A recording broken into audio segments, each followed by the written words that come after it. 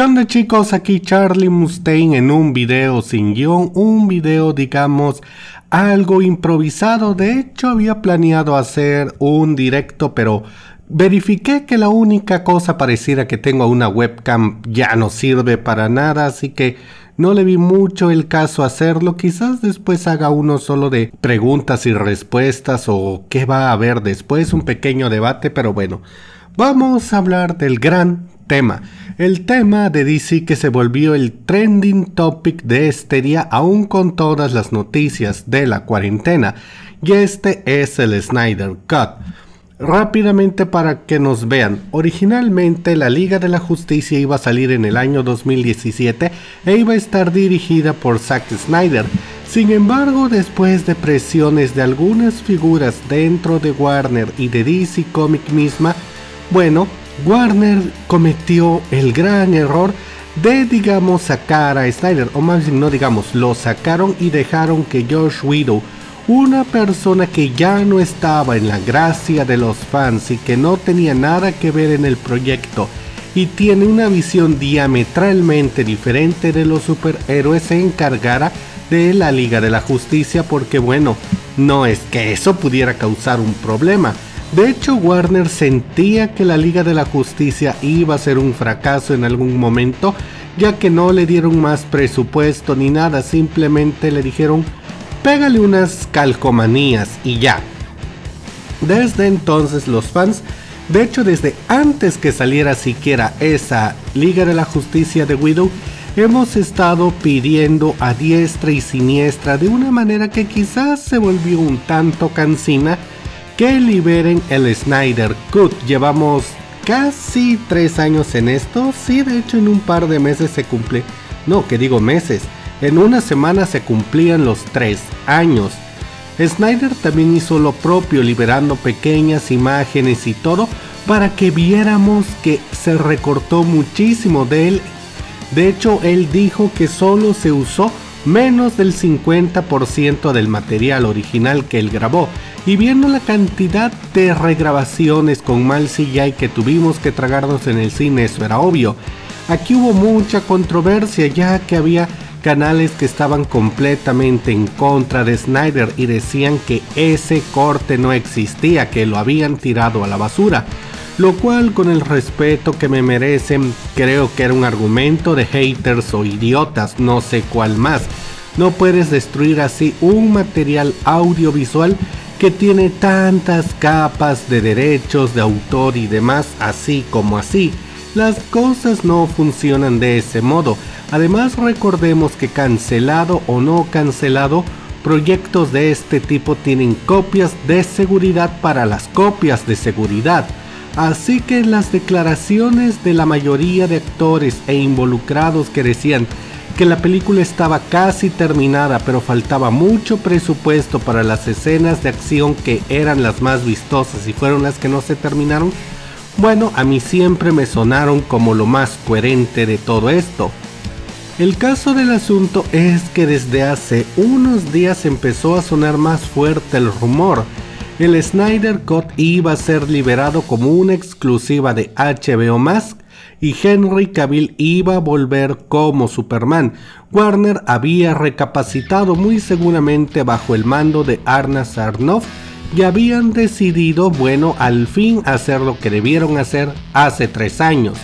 El caso es que justamente hoy, 20 de mayo del año 2020, se dio la gran noticia de parte de Zack Snyder. La película va a ser liberada, pero aquí hay un pequeño truco. Obvios motivos no va a llegar al cine, sino que se va a quedar en una miniserie para la televisión cuya duración total va a ser de unas 4 horas, un poquito más, y que se va a dividir en unos 6 episodios. De esta manera hay que preguntarnos qué tanto la van a pulir había algunos que decían que hacían falta casi 50 millones de dólares o más para terminarla. Warner aparentemente y de momento está dispuesto a soltar unos 30 millones, pero lo que es obvio es que no va a haber regrabaciones, sobre todo de Batman, porque bueno, dudo muchísimo que puedan traer de vuelta a Ben Affleck. Así que hay que tener en consideración que de nuevo no va a tener el 100% de la calidad que hubiera tenido si se fuera a estrenar en cines. En todo caso, las cosas positivas son, más que nada es que esto es una victoria de los fans. Zack Snyder ayudó muchísimo, él presionó bastante, algunos dijeron que ya era simplemente aburrido y que se había vuelto cansino. Y admito que en algunos momentos se pudo sentir así, pero logró ejercer la presión para que respetaran el trabajo para el que lo habían contratado. Y no recordemos que hubo muchos de los actores y algunas personas del CW que constantemente lo apoyaban y estaban de acuerdo en que el Snyder Cut debía ver la luz, pero al final fuimos nosotros los fans los que le demostramos a Warner que todas esas decisiones que tomaron en el año 2017 fueron equivocadas y que tenían que cambiar la perspectiva. Y para mí eso es lo más importante de todo esto. Warner no domina la taquilla porque no quiere.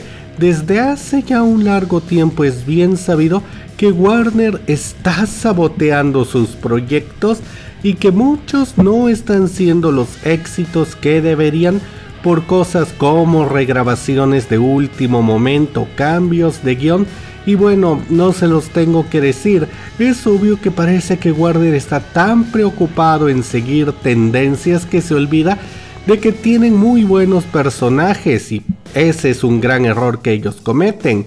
Aunque desde que Kevin Tusihara fue removido del puesto de CEO, parece que los errores están menguando un poco. Y eso es a lo que yo quiero llegar.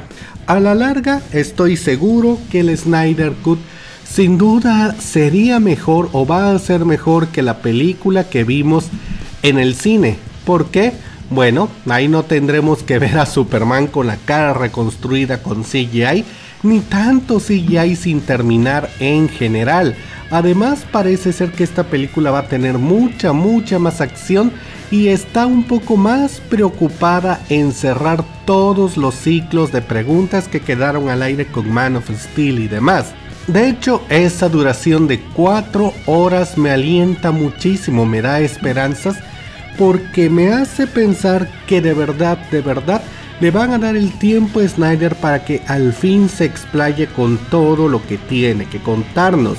Habrá algunos que quizás estén diciendo, va a ser otra porquería como el Batman v Superman, los mismos filtros grises, opacos, horribles para toda la película y los personajes excesivamente conflictuados y shalala, shalala, shalala. Yo trato de pensar que no, y aunque y realmente veo casi imposible que ningún producto sea tan malo como uno que se entregó sin terminar, que fue lo que pasó en el año 2017.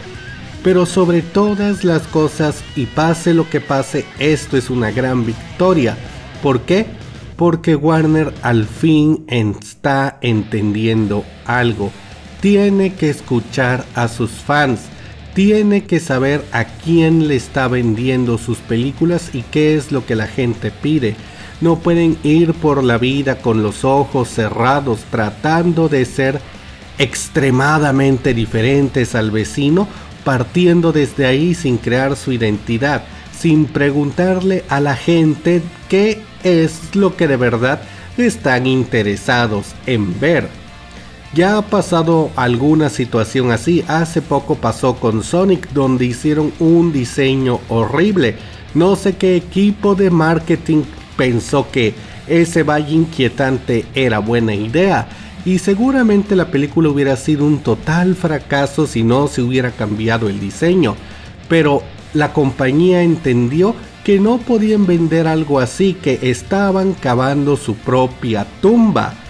Y también ha habido muchas películas que han fracasado únicamente porque los directores están tratando de llenar cuotas más que de contar una historia un claro ejemplo que puedo citarles es Las Cazafantasmas, el reboot de hace también unos 3 años.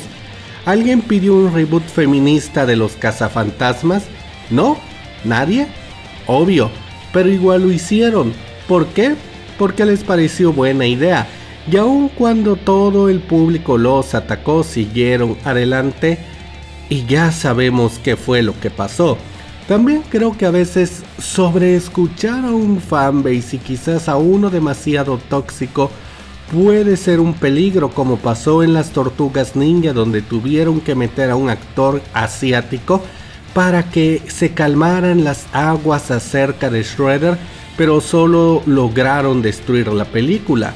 Pero yo creo que eso es una excepción. Estamos en la época dorada, y dorada sí lo estoy diciendo entre comillas, para estas adaptaciones de cosas frikis, de cómics de superhéroes. Y Warner no puede andar ahí por la vida experimentando sin saber siquiera qué rumbo tomar. Los fans ya les pusimos un letrero, este camino es el correcto. Y de hecho no solo los fans, algunas de las personas que trabajan con ellos. Prácticamente todos consideraban un fracaso las películas de DC, al menos las actuales, hasta que Patty Jenkins llegó y demostró cómo hacer un buen trabajo. Después James Wan hizo lo mismo con Aquaman. Los ejecutivos de Warner tienen que darse cuenta que ellos no están para editar el guion.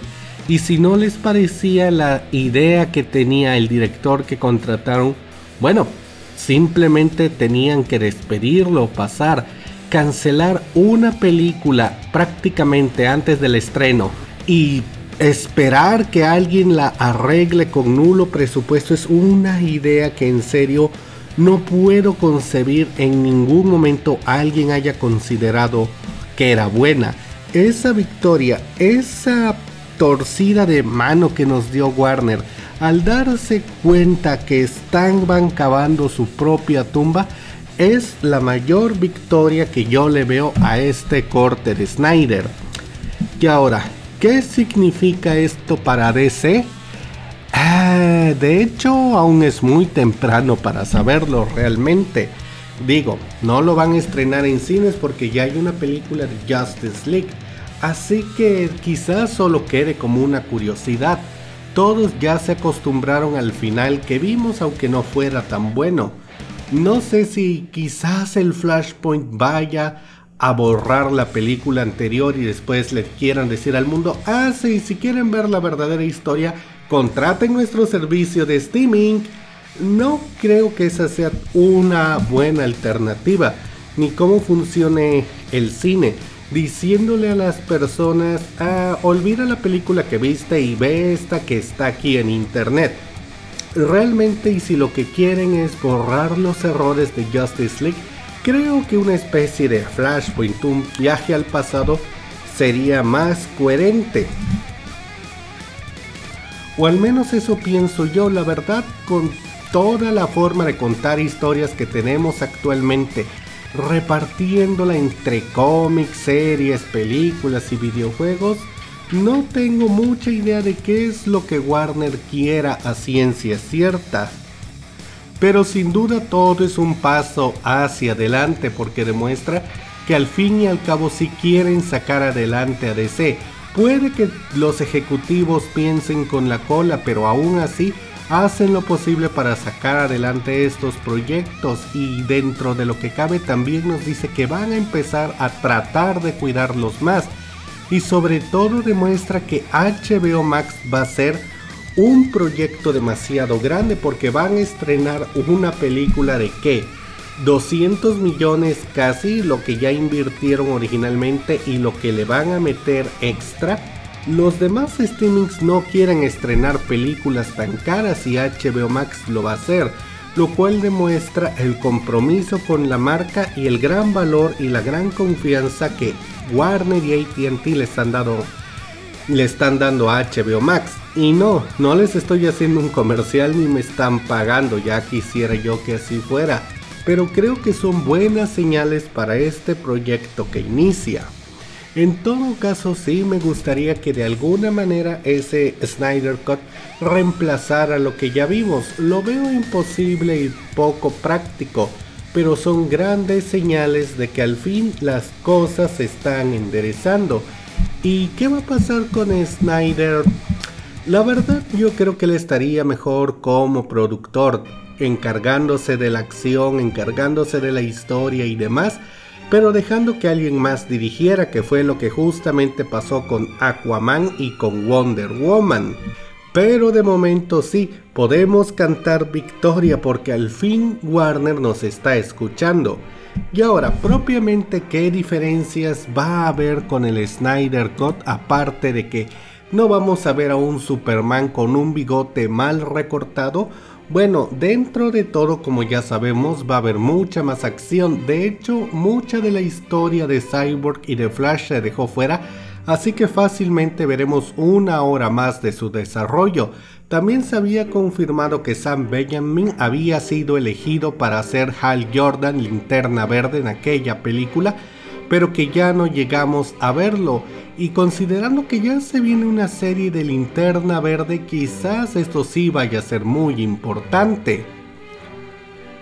También Snyder confirmó algunas cosas en todo su directo. La primera es que sí, obviamente hay un verdadero Doomsday, el que vimos era solamente una copia barata. El verdadero Doomsday está libre por ahí en alguna parte y fue la criatura que destruyó la luna de Krypton. También él nos dijo que esa cápsula abierta en Man of Steel no era coincidencia, sino que era un easter egg para el futuro, lo cual de hecho creo es más que nada un spoiler para Man of Steel 2, ya que entonces quizás la película se trataría en mucho de Supergirl y la veríamos haciendo equipo con su primo. Snyder también dice que Brainiac existe en su mundo, eso mm, lo había visto venir y supongo va a estar relacionado al códex, pero también es algo interesante. Y obviamente al fin vamos a poder ver a Uxas antes de convertirse en Darkseid y más trasfondo para todo. La verdad es que no es solo una película con otros filtros y más acción, sino que se nos va a dar trasfondo acerca de los nuevos dioses, los viejos dioses, y lo más llamativo es que van a tener que introducir los cameos que quedaron pendientes de Linterna Verde y el Detective Marciano. Todo esto es demasiado grande, así que eso sumado a las películas y demás me hace pensar que el Snyder Cut va a empezar a remover todos los planes que se quedaron truncados y encaminarlos hacia el futuro. Yo repito, esta es una excelente noticia Warner parece que al fin está poniéndose las pilas. Obviamente falta mucho para el estreno que es en algún momento del año 2021 y lo más probable es que sea hasta finales cuando HBO Max esté libre en todo el mundo. Pero ahora chicos cantemos victoria y esperemos que al fin Warner se enderece y deje de sabotearse a sí mismo. Pero bueno, ustedes díganme ¿Qué opinan del Snyder Cut? ¿Creen que se va a quedar como una mera curiosidad y no va a afectar en nada las películas? ¿Les parece innecesario? ¿Creen que era justo que se estrenara? ¿Lo van a ver o cuáles son sus opiniones? Déjenmelas todas en la caja de comentarios y si este video improvisado les gustó, denle y compartan. Yo soy Charlie Mustaine, nos vemos en la próxima.